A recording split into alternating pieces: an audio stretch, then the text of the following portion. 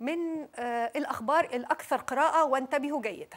امبارح اتكلمنا هنا مع دكتور أيمن عن إيه اللي تاخد بالك منه إذا أكلت فسيخ ورنجة. النهارده من الأخبار الأكثر قراءة.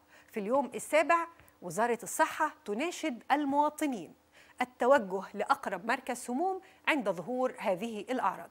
إيه هي الأعراض بقى؟ انتبهوا. لو أكلت فسيخ وأسماك مملحة وحسيت بزغللة في العين ازدواجية في الرؤية جفاف في الحلق صعوبة في البلع ضعف في العضلات. وطبعا في العضلات ده وتحس بتنميل بيبدأ من الأكتاف والأطراف العليا وبعد كده بيروح لباقي الجسم. وأخطرهم على الإطلاق ضيق التنفس.